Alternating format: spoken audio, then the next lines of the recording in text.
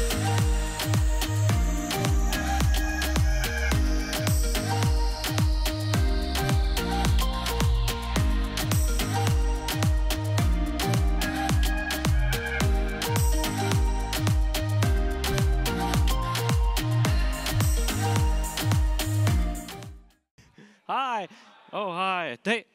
Thank you, Marty. I'm so excited that Ruby Central has announced that the um, that RailsConf is going to be held in Seattle next year, my hometown. so I don't have to drive the three hours to Portland. All right, hold on a sec. My my computer fell asleep here. Okay, there we go. There we go. There we go. Okay, so one, we have one one thing I got to take care of first. Um, someone in the audience named Devin, he is down here. Uh, his he brought this turtle with him. It's his daughter's turtle, and he asked me to take a photo of it in front of all of you. So I'm going to do that now. But um, I would like you all to clap for the turtle because this is the turtle's biggest audience ever. So please.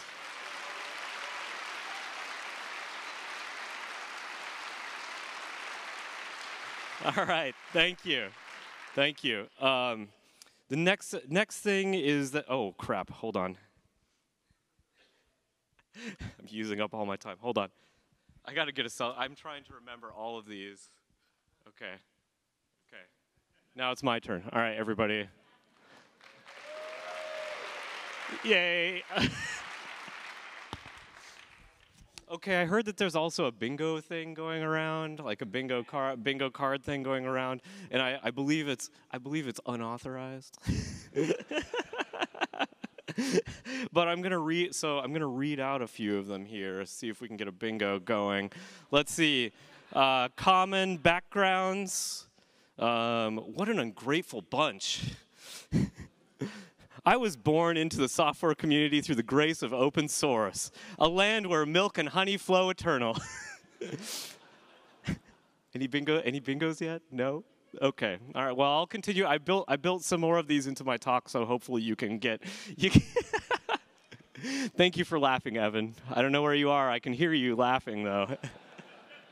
All right, so every year it seems it seems like uh, David gives the very first keynote of, of RailsConf, and I end up giving the last keynote at RailsConf. And typically, my strategy for this talk is essentially to get on stage and make fun of David and his Danish privilege.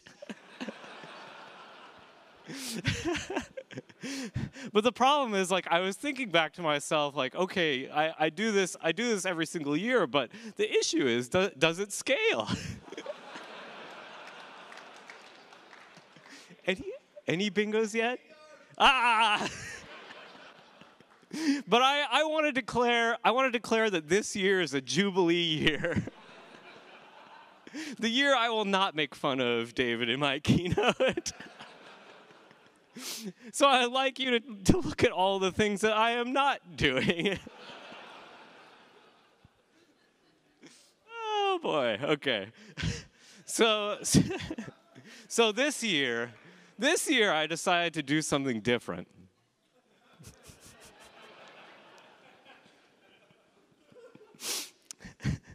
this year I decided to put all of my thoughts down on paper. and rather than standing around here rambling at you, I thought I'd try to do something a bit more thought provoking. So I've written a script. and I'm going to read it to you. Hold on.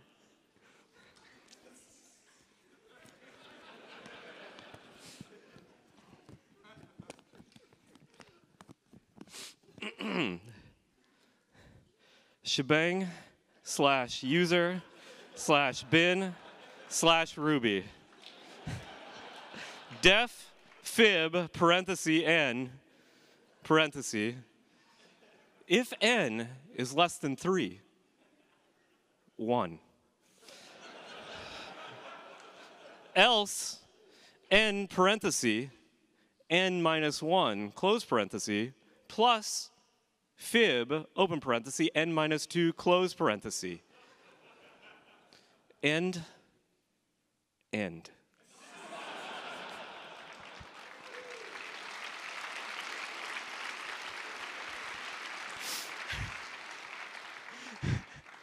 Yes, that was my Ruby script.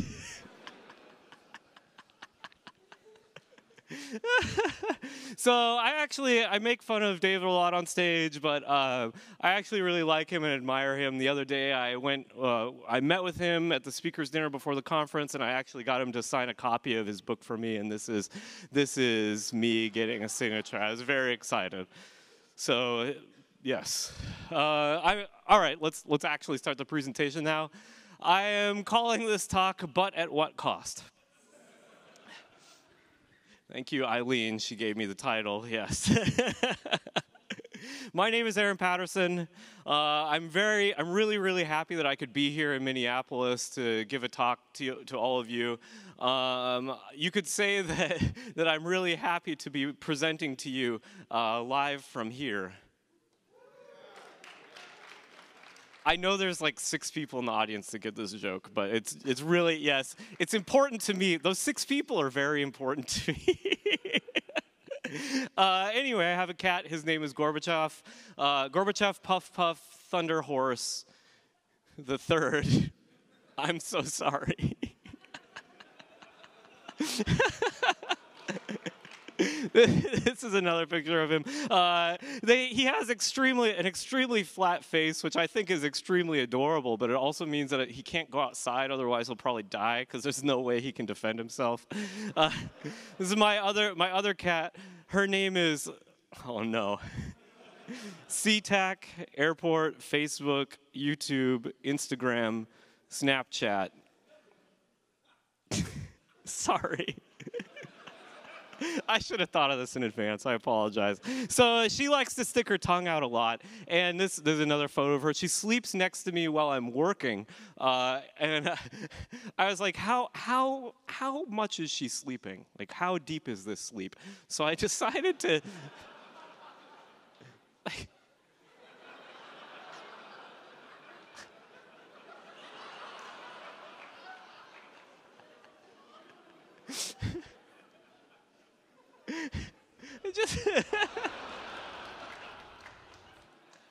so I mean, I mean, honestly, it kind of like it kind of makes me mad because I'm sitting there working and she's like sleeping right there, and I'm like, why am I working so hard? Jeez. Anyway, um, I I brought stickers of my cat uh, both of them. So if you would like a sticker of my cat, come say hello to me afterwards. Um, I like to bring stickers because I know that people are uh, shy and don't know what to say to me, so you can ask for a sticker. Um, if you don't know what to say. Also, I, I am into Ruby programming. I also like taking selfies, and I am a member of the Puget Sound Mycological Society. I am a mushroom hunter, it is true.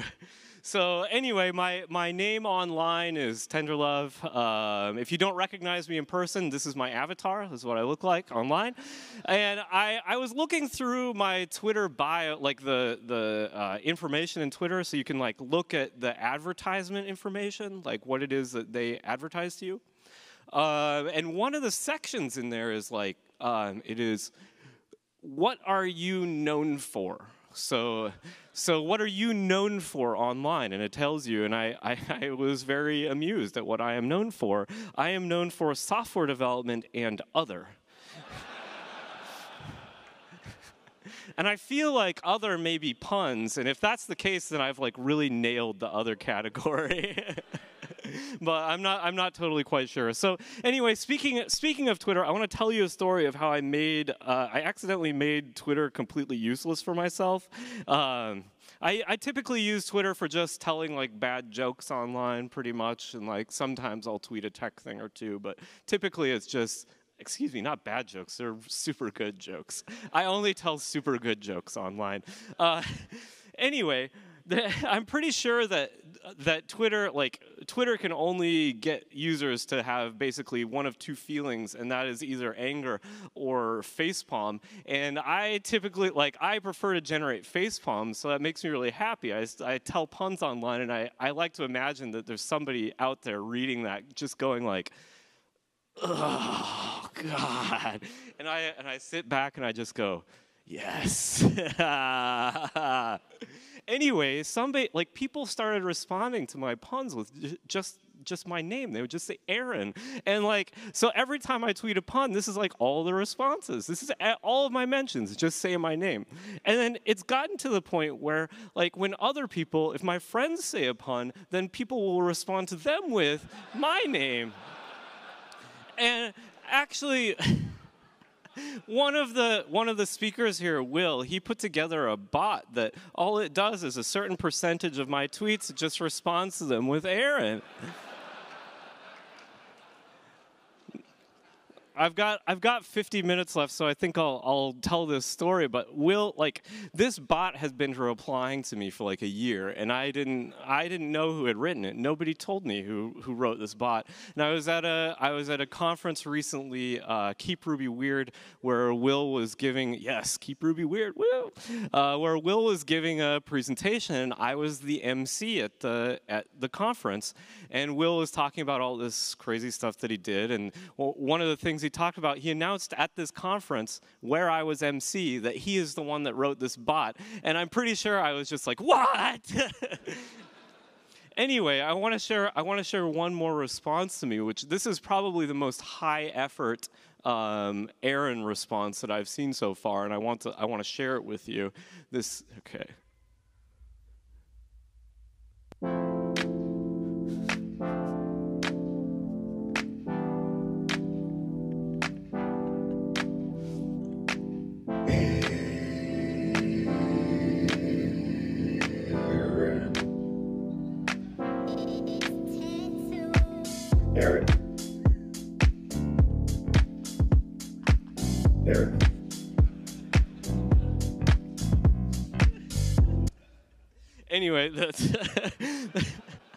So this I think this was the, the best, the highest effort one response to me so far. But this only made my mentions approximately 54% useless. So until until one fateful day, March 14th, 2019, I made a very huge mistake, and that was that I tweeted this. I am trying to respond to things with but at what cost more frequently. And of course the very first response was but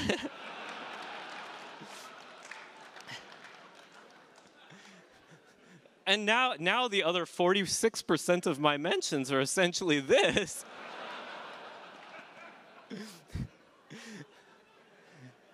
Fortunately, nobody yet has built a but at what cost bot. but but my Twitter is 100% useless at this point. I mean, I think I think you could make it like you could make a strong argument that Twitter was already useless, but you know what I'm saying here, right? Like you, you get what I'm saying. Unfortunately, I've gone from being the the one who imposes face palms. I'm no longer the face palmer. I am now the face palmee. which is kind of unfortunate. But we have there there is an algorithm to this, and essentially the the response algorithm is if I say something that's a pun, you respond with Aaron. Uh, and if I say something that is not a pun, you respond with, uh, but at what cost? And I, would like to do that here today with all of you. So let's let's practice doing this. So let, let's do this. I'm going to say something, and you have to respond with the correct response.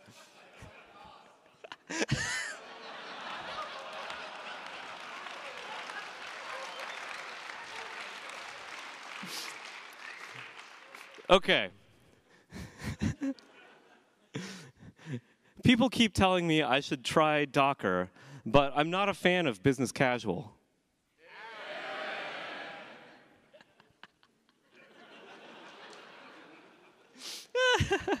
I'm glad they're ending Game of Thrones instead of just letting it drag on.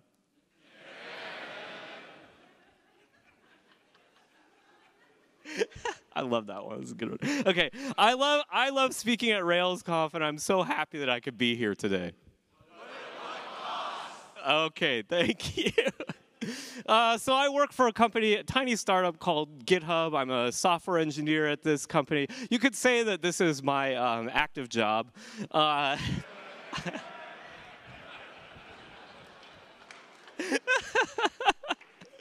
uh, 45 minutes of this left.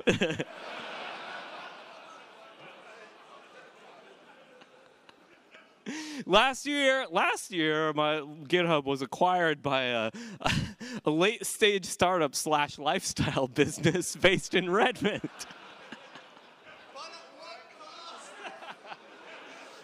the question was, but at what cost? And I will tell you what the I'll tell you what the answer is. Uh, I don't I don't know the. many people so many people have asked me like is it, has anything changed? And i can tell you that uh, the only thing that, that's really changed is i changed my desktop background and i changed it to a picture of redmond which is if you've never been to redmond before it looks like this. It's really beautiful anyway, please now pay attention to the obligatory GitHub we are hiring slide. Now, I think that most companies at this conference have we are hiring slides, but I'm pretty sure that GitHub can provide something that no other company can, and that's essentially access to all of my unreleased puns.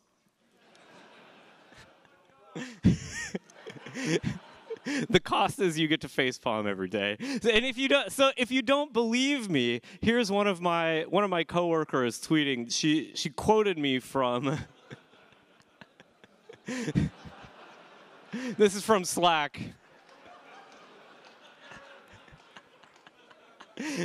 so one of my i gotta i have to admit one of my most favorite things is that i will type a i'll type a pun into slack and then it's just the best. Like, it'll just sit there. and I'll see like typing. and then no typing. And then typing. And no typing. like five minutes later, somebody says something else completely unrelated. I'm like, I did, I, my work here is done. ah! So if you would like to come work with me and, and, and also facepalm, then you can go to this website or scan this QR code or come talk to me later. Anyway, I'm also on the Ruby core team, which is a team responsible for developing the Ruby language. Uh, I recently learned that this is my actually my 10th year, so it'll be my 10th anniversary in October of being on the Ruby core team, which is amazing to me. Uh, I'm also on the Rails core team, and I decided to research how long I've been doing that. I've been on the core team since 2011, uh, but my first commit was in 2009, so it was actually about 10 years ago now. And Jeremy is the one that merged it, so thank you, Jeremy. I really appreciate it. Uh, now, I'm not saying this to like toot my own horn or boast about how long, you know, my accomplishments or whatever, but I, what I want to talk about is how long I've been in the Ruby community and why I stayed for so long. Uh, and the reason is that I just, I love Ruby a lot. I love the language. I, I've been doing development work since 1999, and I got into Ruby programming around 2005 because some of my coworkers went to the No Fluff Just Stuff conference where Dave Thomas was giving a talk about Ruby.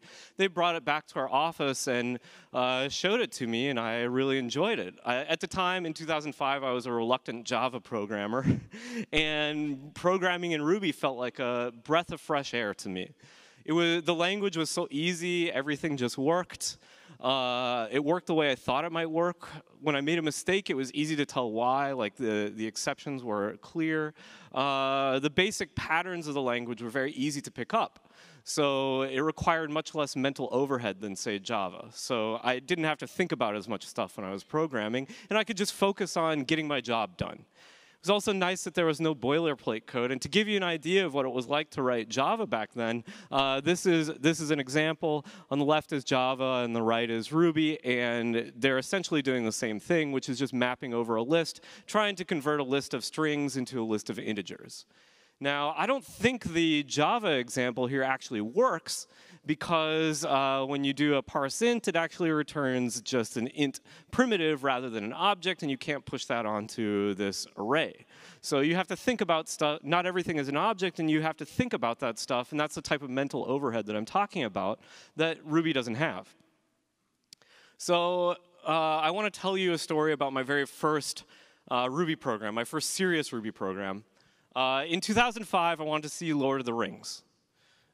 So it was the third Lord of the Rings movie coming out, and it was there was going to be all three Lord of the Rings movies all shown on one day, and they were showing it a day early, and that was my birthday. So I really wanted to go to this. Uh, now, I went into work and I tried to purchase the, the tickets online, but the website just crashed. And I tried a few times and the website kept crashing, so I decided, okay, I'll write a Ruby program to do this. And like I said at the time, I was a Java developer and our project took about like 10 minutes to compile. Uh, so what I would do is during the compilation time, I would write my Ruby program to go buy these go buy these movie tickets for me.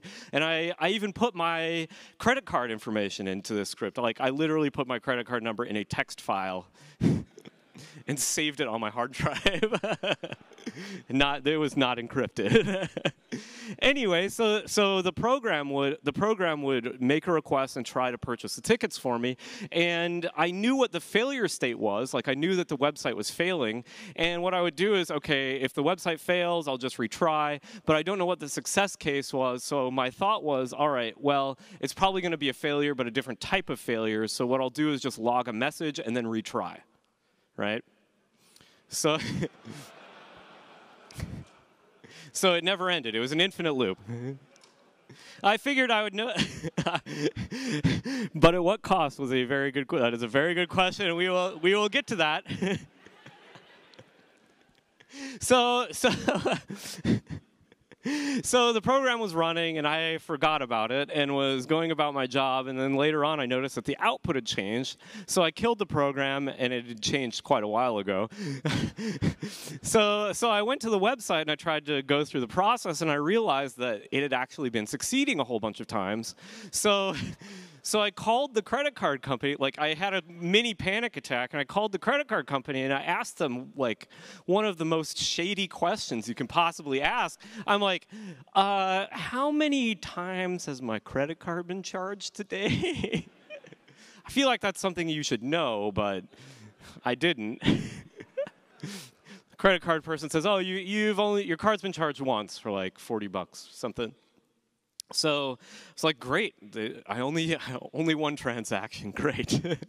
so, but I wasn't sure whether or not I actually got the tickets because the website had kept failing. So I called the ticketing company.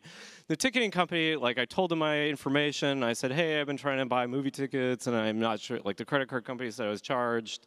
Did I actually get any movie tickets? They looked up my info, and the guy says, well, yeah, you bought two tickets, but it looks like we've tried to charge your credit card hundreds of times. and I was like, oh, yeah, it just kept hitting like refresh on the website. I don't know. anyway, the moral of the story is never write infinite loops. Make sure there's some way for it to exit.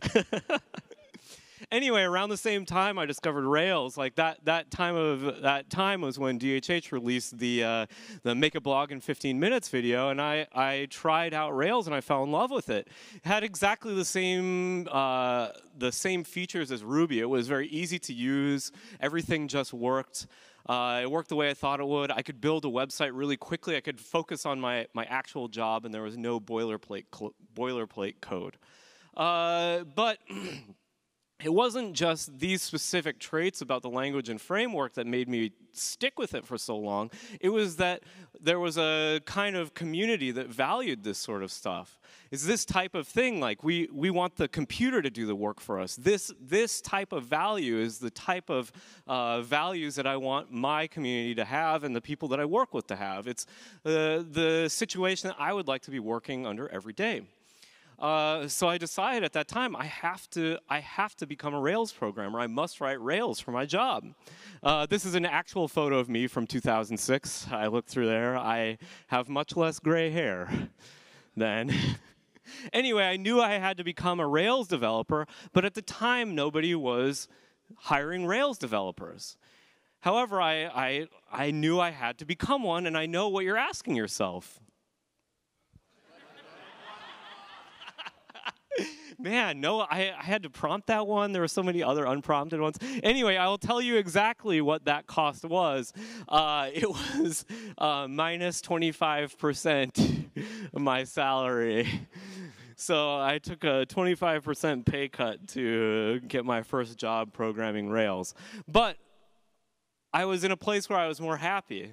And I knew I wanted to be more involved with Ruby and the Rails community because I wanted there to be more companies that had Rails applications.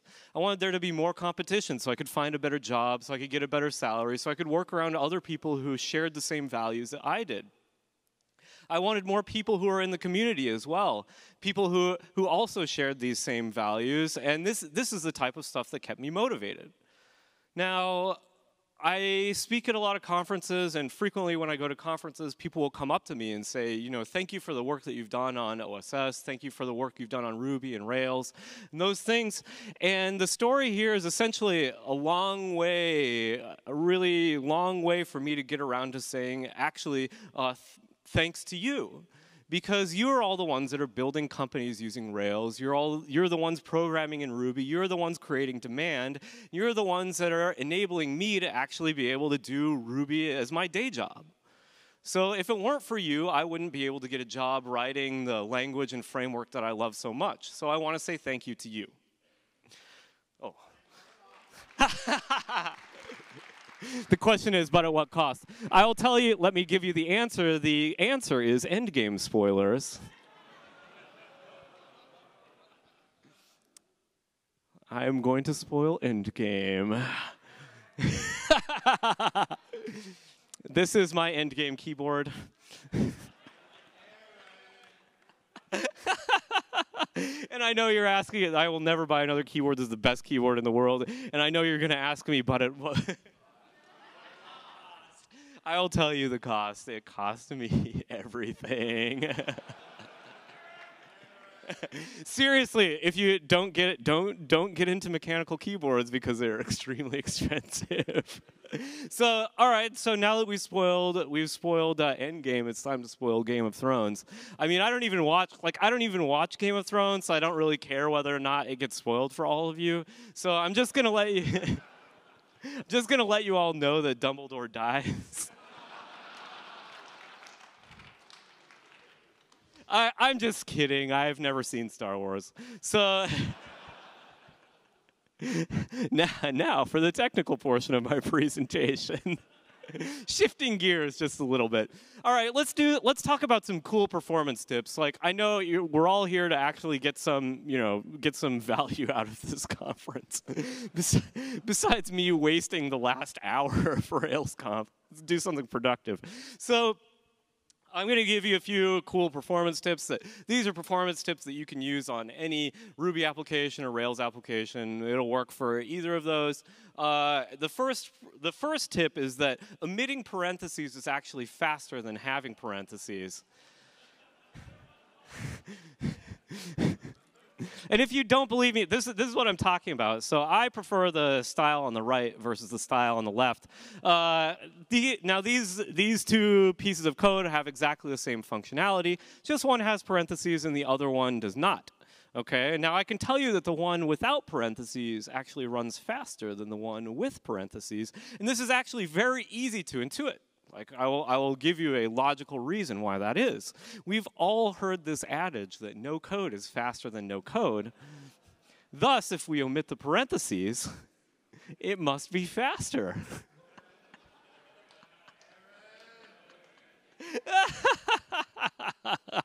but okay, if you don't believe if you don't believe me here, use this command ruby-y. Uh, this is a flag that you can give to Ruby that will output the state of the parser while it's parsing some code. So we can actually see how many uh, transitions the uh, state machine makes while it's parsing your Ruby code. And if we pipe that to wc-l, we can tell how many states the parser had to go through while parsing it. And it turns out, if you have parentheses, it has to go through more states. So clearly, it must be faster. Sorry, I'm just pushing my own coding style on all of you. So the next, let me give you the next, the next um, speed uh, performance tuning pro tip, and that is that single quotes are two times faster than double quotes.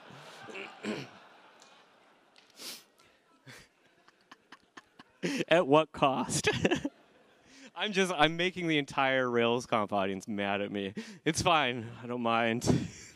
so I'll tell you why this why single quotes are actually 2x faster than double quotes. And the reason is because you don't have to hit the shift key.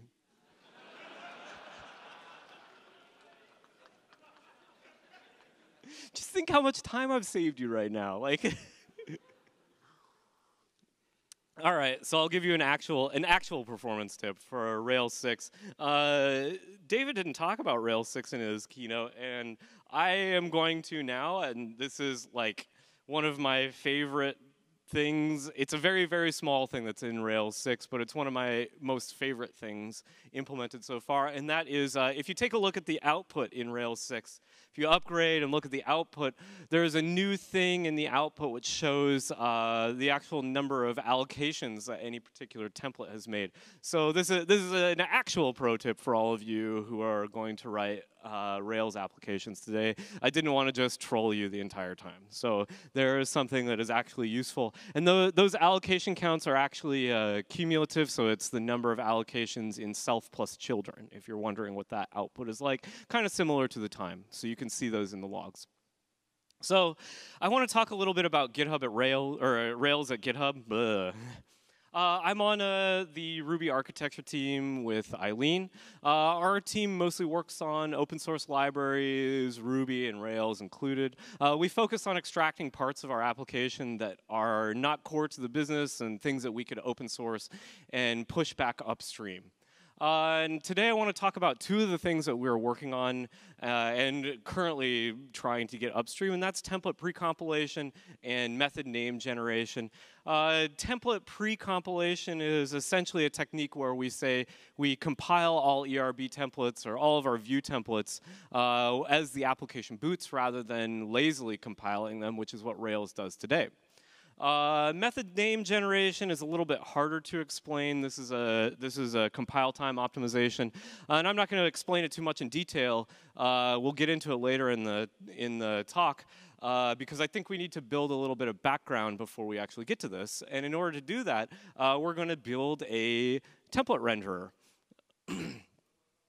At what, but at what cost? The cost is your sanity. No.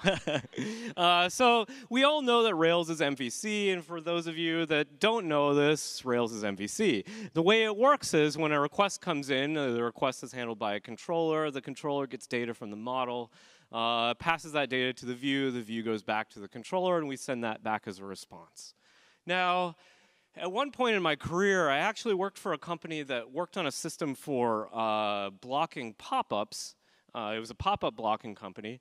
Uh, and there we developed a system that was actually known as a modal view controller.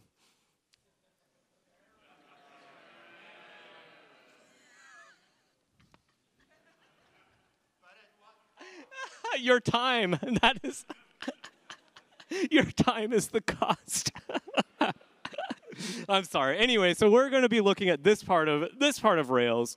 Uh, we're going to look at Action View here. Uh, I typically talk about Active Record, uh, but I'm going on record as talking about Action View. Sorry. As I said, we're going to talk about Action View, and Action View's responsibility is for finding templates, compiling templates, and executing views. So we'll talk a little bit about view templates. The view templates are implemented with a templating language called ERB. Uh, this is this is specific to Rails, but uh, ERB like this, you could be we could be talking about Haml or any other templating language really, uh, but we're going to use ERB in these examples. Uh, this templating language was developed by MSECI. It's part of the uh, Ruby standard library. And ERB templates look like this. I'm sure you've seen them all before. And the way that you actually compile and use these is with code like this. You basically just, this example here just compiles the template. Uh, that second line there prints out the source of the template. All, all the ERB compiler does is take your view as input and translate that into Ruby code. And then we evaluate the Ruby code and print out the result. So if we look at the compiled values, uh, this is what this is what the actual the generated Ruby will look like. Now, if we execute this code, it's not going to work, and the reason it won't work is because we don't have a render form method or a link to method.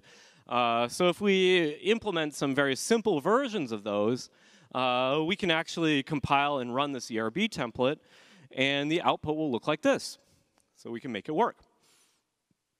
Now, there are two tags that we looked at in here, and we're gonna we're gonna talk about a strange and not fun feature and challenge of this this uh, template language. Uh, here are the here are the two tags that we saw.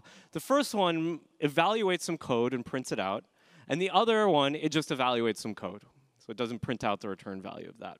So one common thing we do in Rails is we like to capture the value of a block in, in helpers. So maybe with form for do or something like that, uh, we want to capture the, the block output. So for example, we have a, we have a, a template that looks like this. Now, if we execute this code, what is the output going to be? Is it going to be hello first, hello in the middle, or are we going to get an error? Well, the answer is we actually get a syntax error and I'm going to show you why. The reason is because when capture, this, this template gets translated into Ruby, uh, ERB doesn't know that do belongs to end, so it just does an unintelligent thing and tra just translates those. So we translate over the capture do and try to print that out, and then the end is just evaluated as normal code, uh, and we get a syntax error. This won't work. So how does Rails deal with this? Because clearly we, we have to use this in our, in our templates today. Uh, the way it works is in the ERB compiler, you don't, you don't need to read this code. Essentially, all it does is it scans your Ruby code looking for things that could be blocks and then treats them, treats them that way. So uh, that's how it can detect whether or not do and end belong together. Uh, we got a little bit down the rabbit hole here, so I think we're going to step back a little bit. Uh, there are actually different flavors of ERB. There's the original ERB that comes that ships with Ruby. Then there's Erubis, which is what Rails used for a very long time. So Rails started out with ERB. Then we moved to Erubis. It was faster than ERB. Uh, now we're on to Erubi, which is another implementation. These all essentially do exactly the same thing. Like you, you can upgrade Rails and never know that you have switched between any of them. Uh, just that one is more performant than the other. So Erubi is the current one that we use, and it is the most performant. So let's talk a little bit about ERB performance. Uh, this, again, this isn't Rails specific uh, or template language specific, but we are going to use ERB in these examples. Uh, so let's take a look at rendering speed here. This is just some code that renders a template. And if we time it, our output is about, we're able to render about 27,000 templates per second. And that's pretty good, but we can actually do better than that because our benchmark, what it was doing was actually compiling the, compiling the ERB and evaluating the ERB and executing it every single time. And we can cache some of that. So in this example, we've changed it such that we cache the compilation. So rather than compiling it every time, we'll just compile it once and then evaluate it each time. And if we compare this to the original version, uh, it's about two times faster. So we're able to, we're able to render about 63,000 templates per second. So this is good. It's much faster. So we can do we can do even better than that though. We can say let's only evaluate once. So rather than calling eval every single time, what we can do is define a method. So in this example, what we'll do is we take the source of the template and we actually use that source of the template to define a method.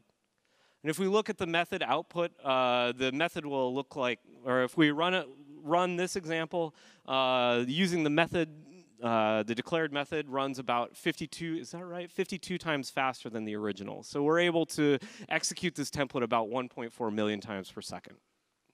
So let's take a look at method definition a little bit more in depth.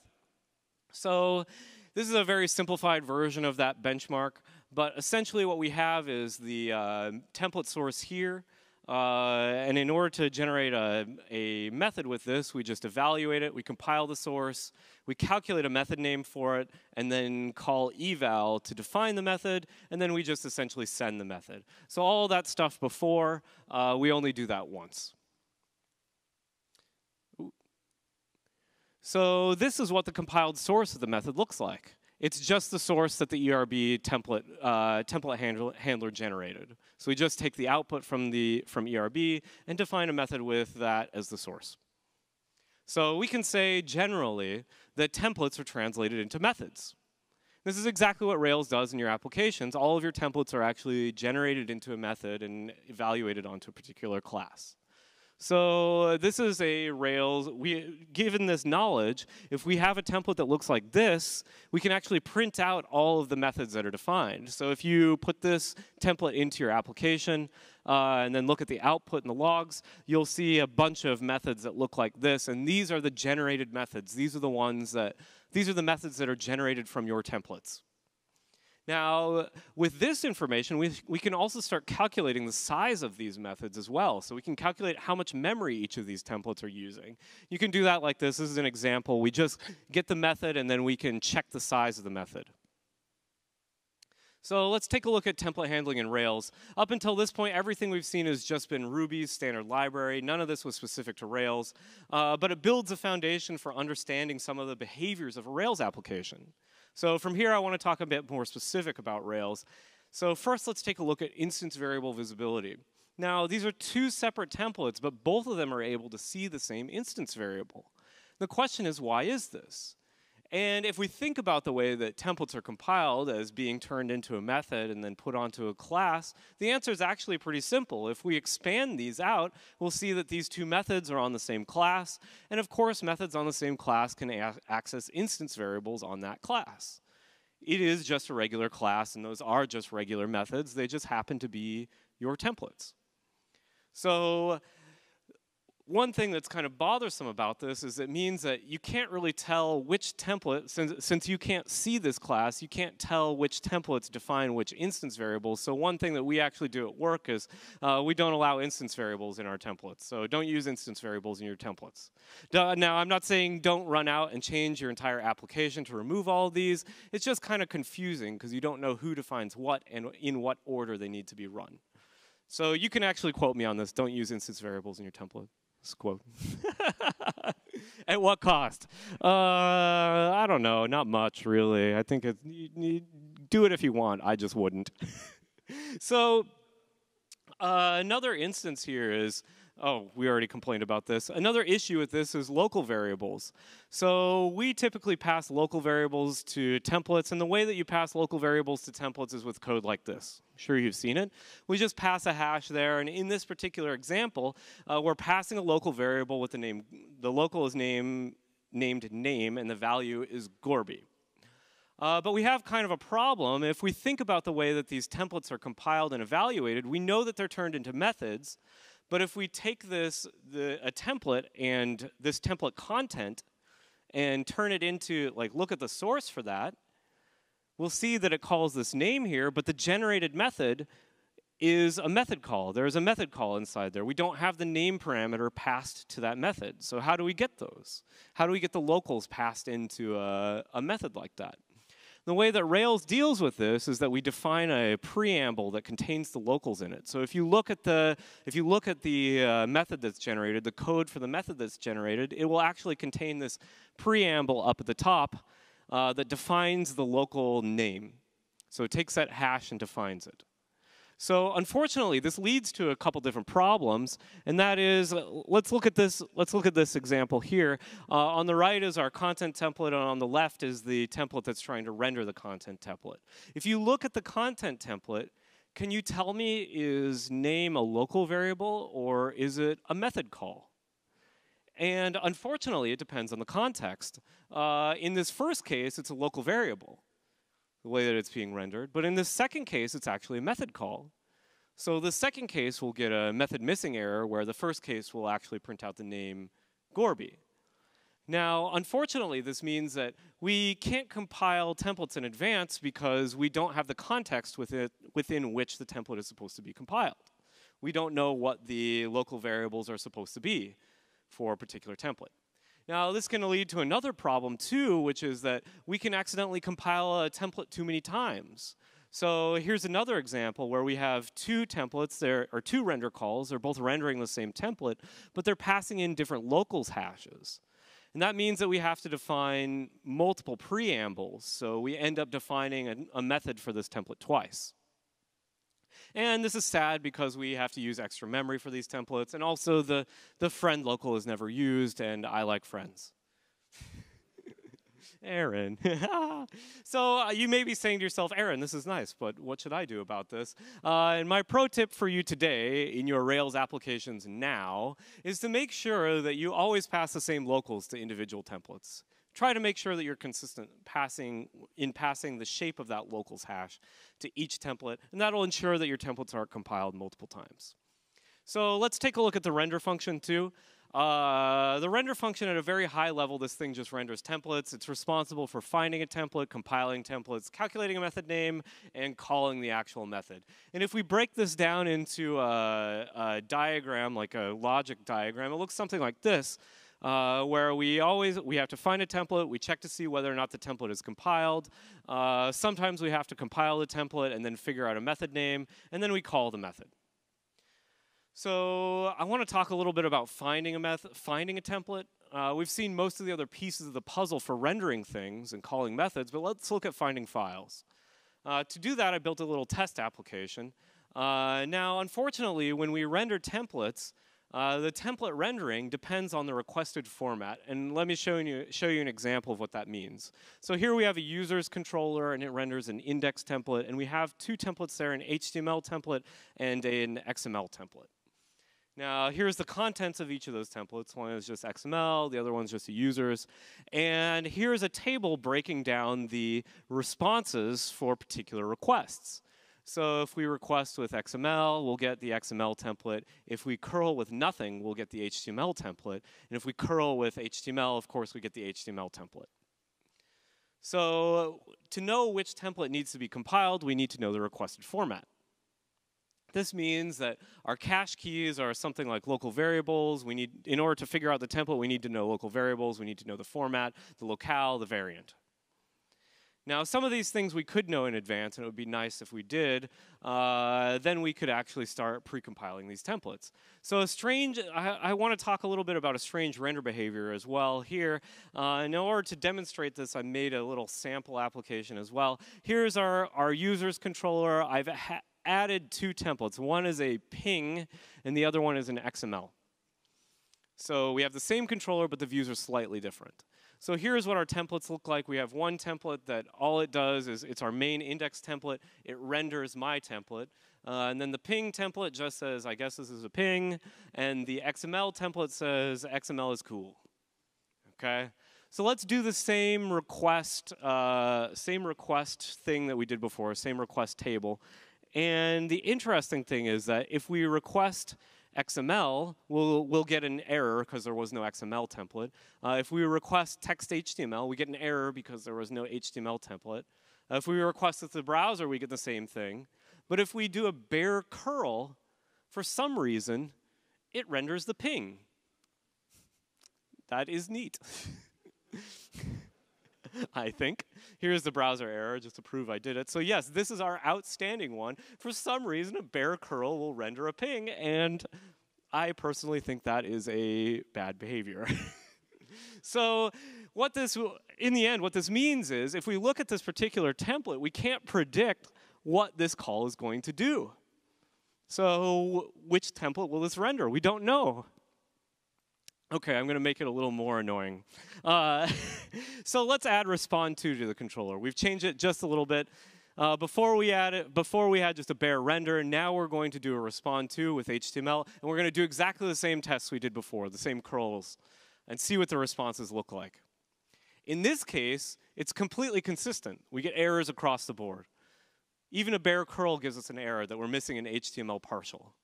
What this means is that that render call is actually context dependent. When we call this render here, it's not just dependent just on the format that's being passed by the request, it's also dependent upon the context within, it, within which it's being called. So this render is impacted by the re that render above it or this render above it as well. It means we can't look at this template and know what it's going to do without having a particular context. It means these templates are not context free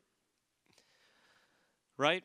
So I've been I've been harping a lot on prediction and consistency, and I want to talk a little bit uh, with regards to the template rendering. I want to talk a little bit about why.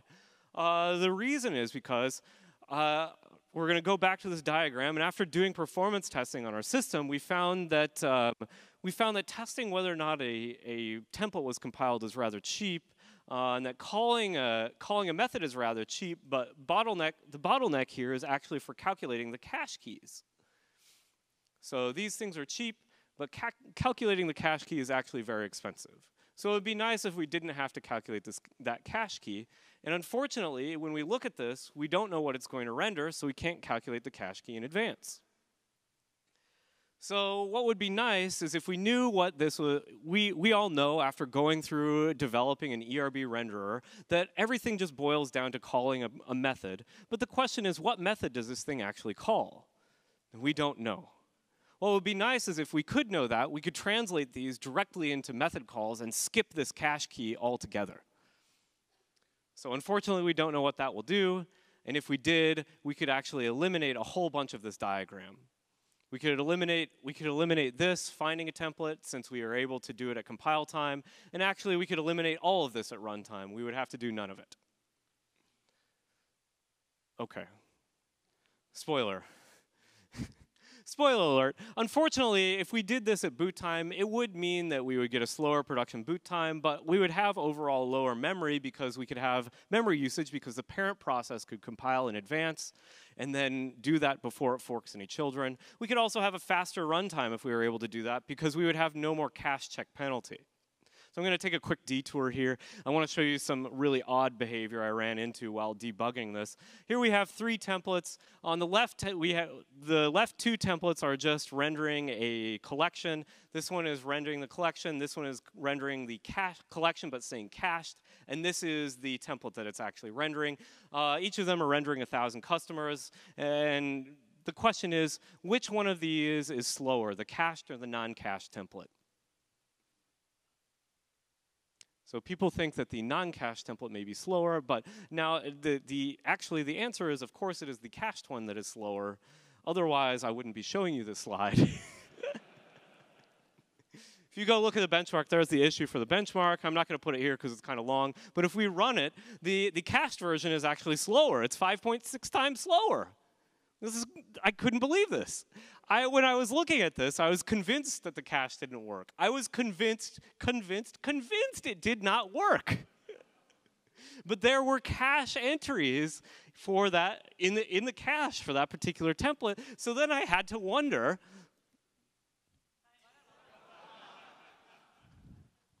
So I profiled the cache, and it turns out that cache key calculation was actually more expensive than executing the template itself.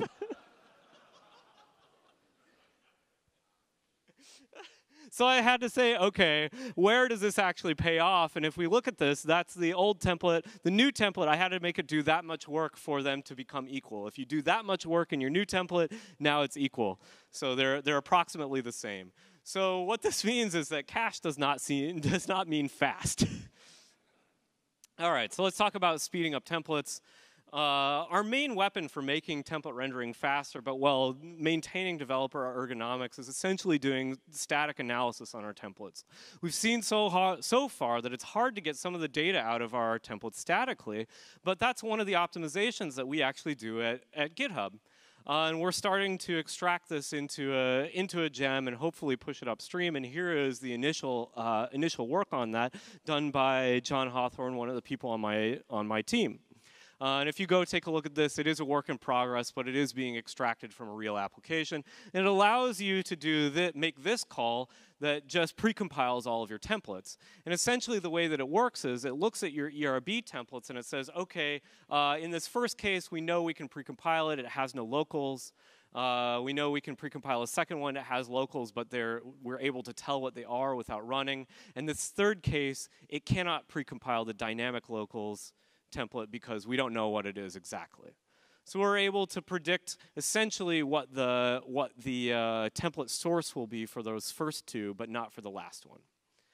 So this is, this is two parts of the puzzle. This is precompiling the templates, or one part of the puzzle is precompiling templates. The other part is figuring out what method we're going to call. So I want to talk a little bit about rendering methods and a change that I would like to make in Rails that's slightly backwards compatible. Uh, that's essentially, the change I would like to make is uh, something I like to call the same format assumption. And essentially, what this is is uh, in this case we have an is this one ambiguous? Yes, we have an ambiguous template rendering issue here, where this first one we don't know what it's going to render. We know that second one will render a ping. Oh, I'm sorry, caption people. I'm speaking fast. If I read the captions, do I go into an infinite loop? If I read the captions, do I go into an infinite loop?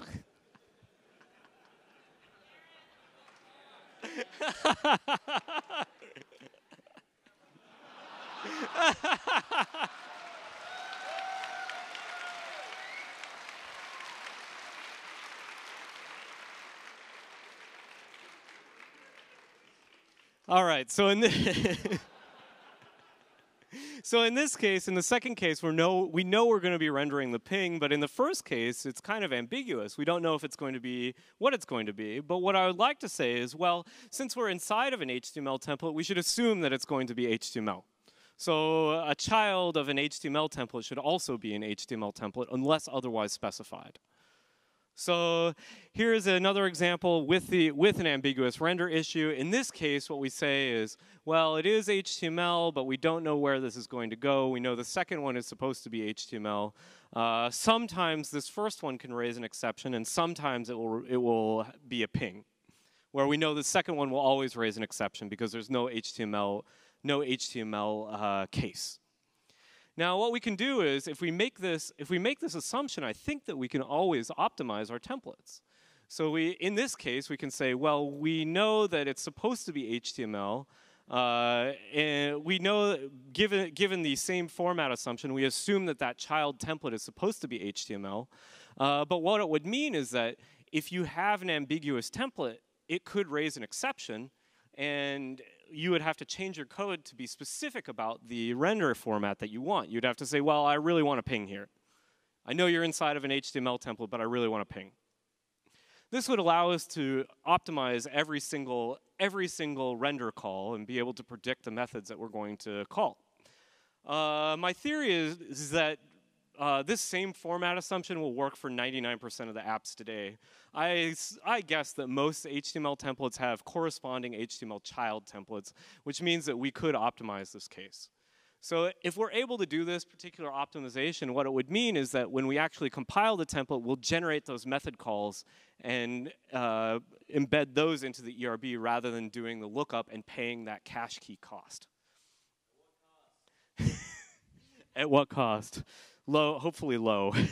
the, the cost is you need to put format when you're rendering pings. so all right so we have we we could do another another uh, there's another thing we could do where we have no uh, backwards incompatibility problems and that's essentially what we could say is well in cases where we know that it's ambiguous we won't optimize it We'll just render a template that looks like this. We'll fall back to the original thing, and then in this one where we do know what it is, we can, we can raise an exception. So, okay, I'm going to wrap this up very quickly now. Uh, so today I've presented a couple, I've presented some really bad jokes. Uh, excuse me, some really good jokes. Uh, your an hour of your time. I apologize. Uh, I've also presented some of the some of the uh, things that we've been working on at work to speed up speed up Rails, uh, and I want to end here with a few uh, few lessons that you can take in general for your applications at home. And if you can, always try to be context free. Don't depend on side effects in your application. Uh, it means that when you're looking at a piece of code, you're able to reason about it within isolation. You don't need to know about the rest of the system. You don't need to know who's calling you or in what context you're being called. You can just look at it and reason about the code. Uh, now, this is kind of the same thing, but be consistent. Always write functions that have the same behavior. Uh, calling a function should always do the same thing, otherwise, the system can become too hard to understand. Also, cache does not equal fast. Benchmark all of your things before you just enable cache. So try benchmarking it, then cache it, then try benchmarking with cache enabled. And also, please keep building applications. Please keep writing Ruby code so that I can continue to write Ruby code into the future. Thank you so much, all of you. It was a pleasure to be here.